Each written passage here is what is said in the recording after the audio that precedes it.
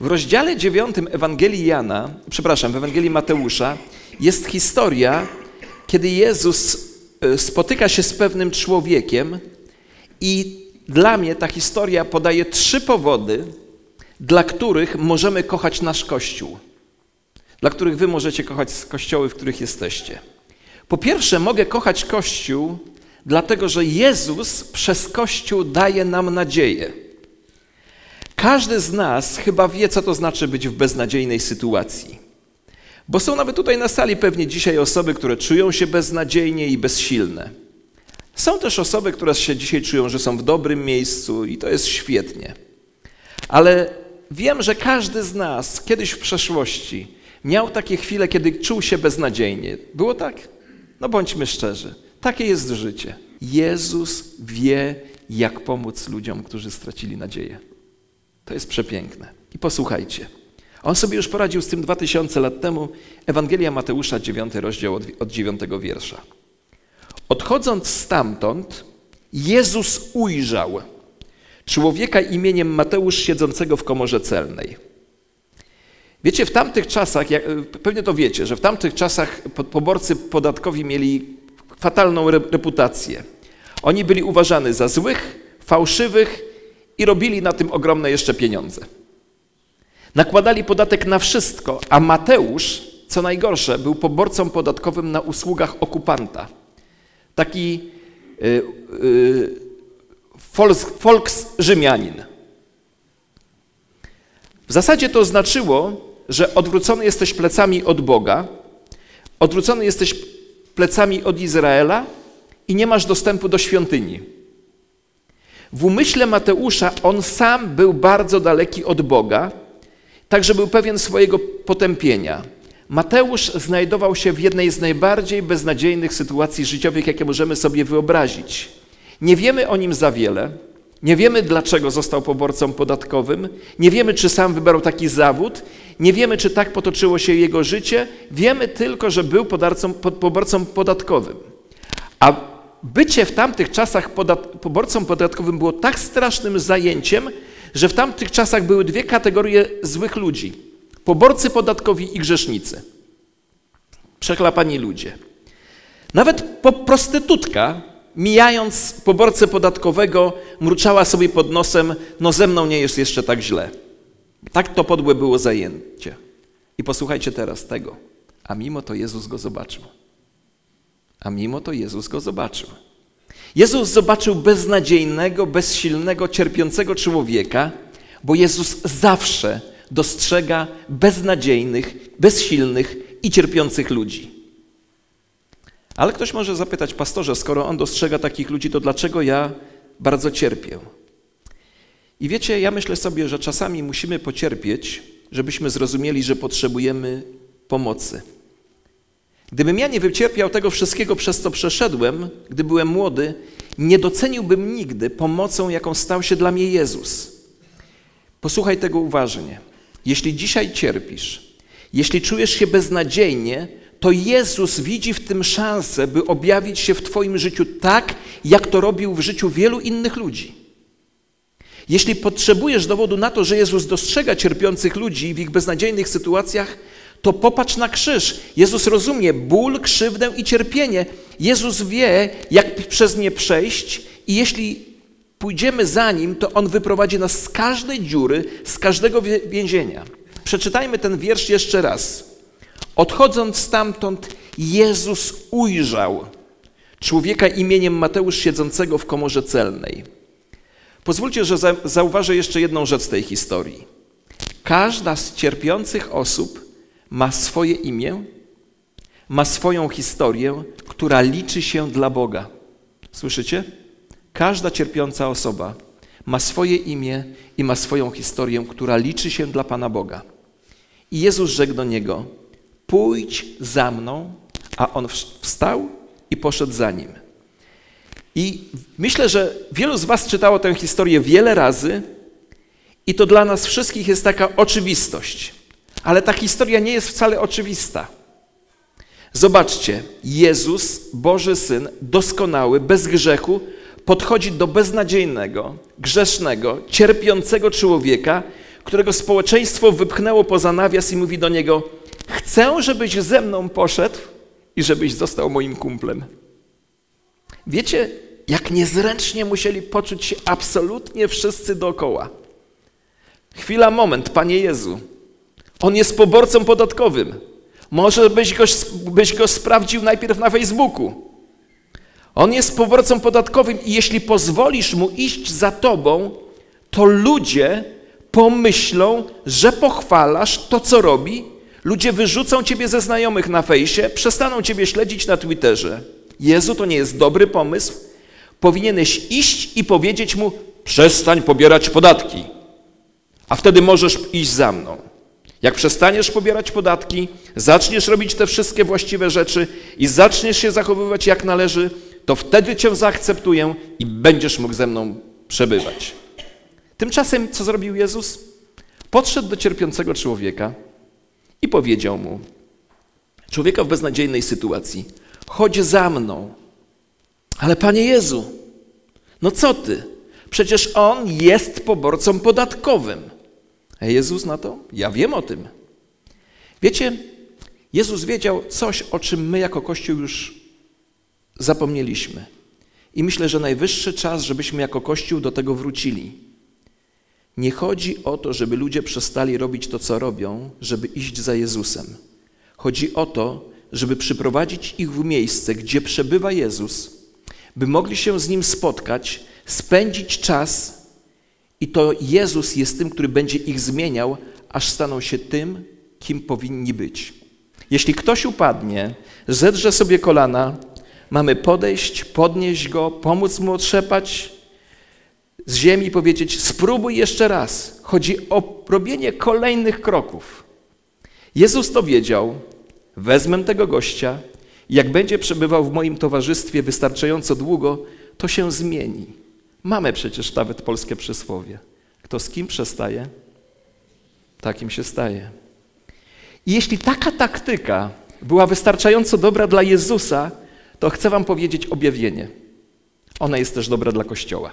Bo Jezus mówi do cierpiących ludzi w beznadziejnej sytuacji i nie prosi ich wcale, żeby przestali robić to, co robią.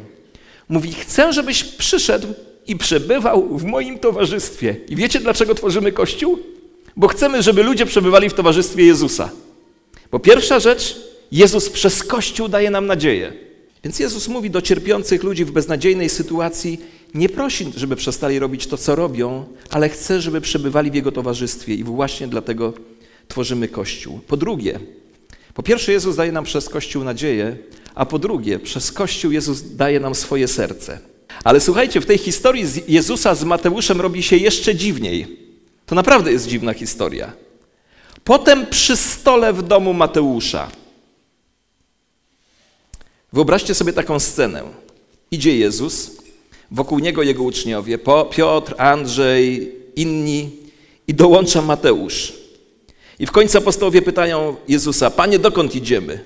A Jezus pokazuje na Mateusza i mówi, idziemy do Niego, idziemy do Jego domu. No nie, no Panie Jezu, do Jego domu? I sytuacja robi się coraz bardziej niezręczna. Ale czy nie, nie cieszycie się z tego powodu, że Jezusowi, że Jezusa nigdy nie, nie, nie wystraszyła niezręczność? Zauważyliście? Jezusa nigdy nie wystraszyła nie, niezręczność.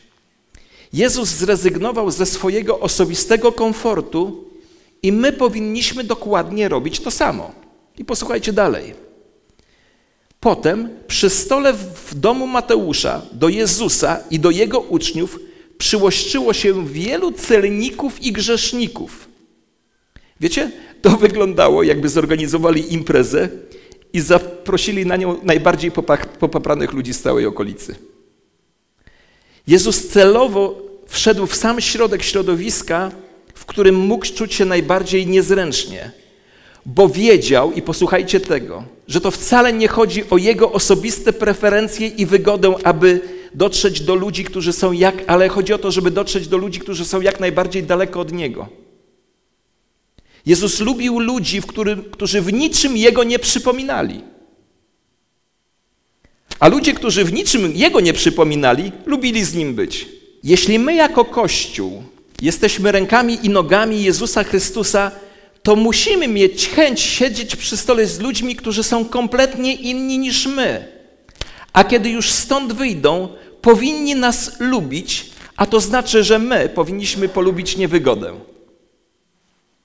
I jeśli jesteś tutaj nowy, to możesz czuć się na początku niezręcznie. Jakieś śpiewanie, podnoszenie rąk, modlenie.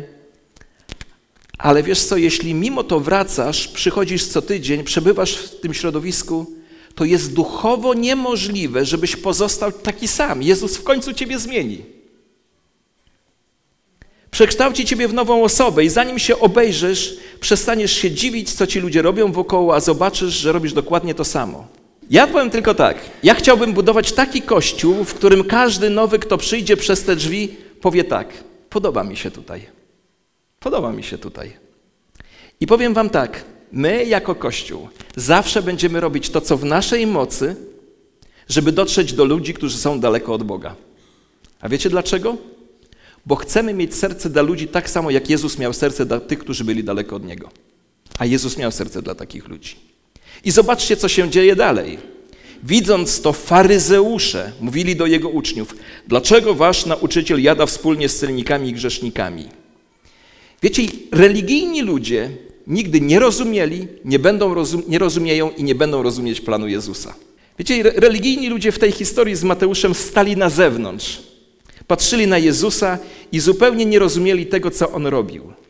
A Jezus miał serce dla ludzi, którzy byli daleko od niego bo wiedział, że jeśli zgromadzi tych ludzi w swoim otoczeniu i pozwoli im przebywać ze sobą jakiś czas, to oni się zmienią.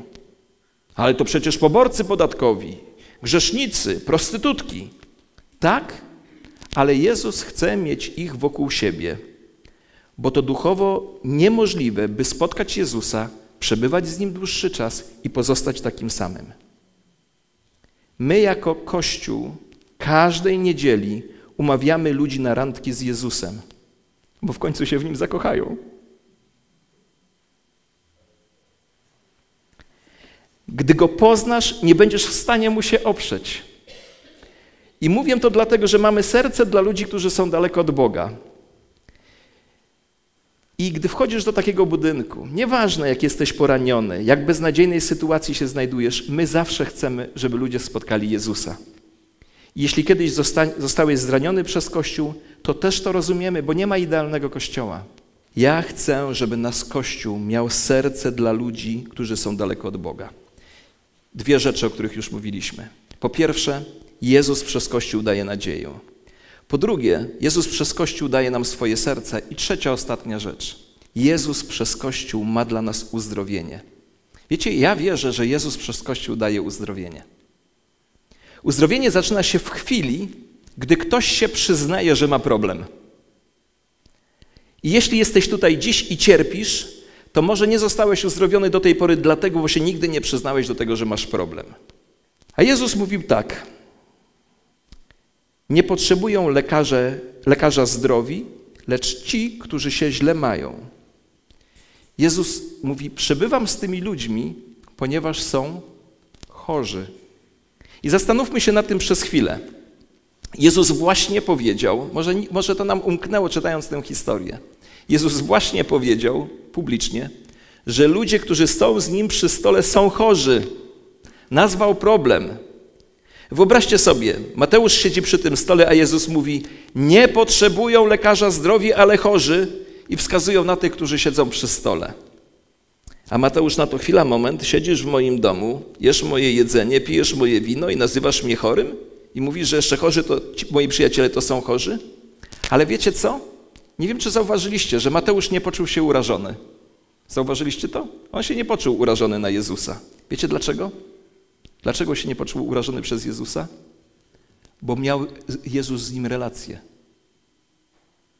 Bo Jezus miał z nim relację. Wiecie, ludzie Kościoła zawsze mieli tendencję do tego, żeby iść i wytykać ludziom ich błędy, nie znając kompletnie ich historii życiowej. Nie wiemy, w jakim są punkcie życia, nie wiemy, przez co przeszli, nie znamy ich zranień, siniaków, bólów, a Jezus wiedział o tym wszystkim. Jezus nawiązał relację z Mateuszem, siedział z nim za, za stołem i wtedy powiedział do niego: Słuchaj, człowieku, jesteś chory. I wiecie co? Jeśli ktoś z nas jest tutaj chory na tej sali, to dobrze o tym wie. Ustawiamy sobie poprzeczkę w życiu i nie jesteśmy w stanie do niej doskoczyć. Zabraniamy czegoś swoim dzieciom, a potem sami idziemy i to robimy. Wiemy, że jesteśmy chorzy i wpadamy w te same dziury, w te same schematy. I jeśli dzisiaj tutaj jesteś i nie znasz Jezusa, to wiesz, że jesteś zraniony, połamany i chory. Bo ja chcę kościoła, w którym będę słuchał historii złamanych ludzi, którzy spotkali Jezusa i Jezus ich zmienił. Religijni ludzie nigdy tego nie rozumieli. Religijni ludzie to była jedyna grupa, która nigdy nie poszła za Jezusem. A ja im bardziej jestem świadomy pracy, jaką Jezus ma wciąż do wykonania we mnie, tym mniej krytycznie patrzę na pracę, jaką wydaje mi się, że ma do wykonania w życiu innych ludzi. Słyszycie to zdanie? Bo nikt z nas na tej sali, na czele ze mną, nie jest jeszcze w miejscu, w którym powinien być duchowo. Ale tak długo, jak wykonujemy kolejne kroki, kolejne i upadamy i mamy obok siebie ludzi, którzy nam pomagają powstać, otrzepać się z skórzy i robimy kolejny krok, tak długo jak żyjemy w otoczeniu Jezusa, On będzie nas zmieniał, nasze wspólnoty, nasz kraj, nasz świat. Dlatego ten ruch musi się od nas zacząć. A potem Jezus mówi coś w tej historii, co chyba jest najbardziej obraźliwą rzeczą, jaką mógł powiedzieć do tej grupy. Idźcie i starajcie się zrozumieć. To już jest szczyt obrazy. Wszystko, czym zajmowali się faryzeusze, polegało na rozumieniu. Oni uczyli się Starego Testamentu na pamięć, a Jezus mówi do nich: Czytacie Biblię, a nie, nic z niej nie rozumiecie. Idźcie, starajcie się zrozumieć. Chcę raczej miłosierdzia niż ofiary, bo nie przyszedłem powołać sprawiedliwych, ale grzeszników. Jeśli Kościół nie ma przy swoim stole ludzi, których serca są złamane, poranione i daleko od Boga, to nie działa według planu, który realizował Jezus Chrystus. Kościół nigdy nie powinien stać się idealnym miejscem pełnym idealnych ludzi bez problemów. Ja kocham nasz Kościół, bo jest pełen połamanych ludzi, którzy byli cierpiący, tkwili w beznadziejnej sytuacji, ale spotkali lekarza Jezusa, który ich odnowił i którzy chodzą z Nim do dziś. Dla trzech rzeczy. Jezus przez Ciebie i przez Twój Kościół chce dać ludziom nadzieję. Jezus przez Ciebie i Twój Kościół chce objawić swoje serce. I Jezus przez Ciebie i przez swój Kościół chce przynieść ludziom uzdrowienie. Trzeba więcej nadziei, serca i uzdrowienia? Nie trzeba.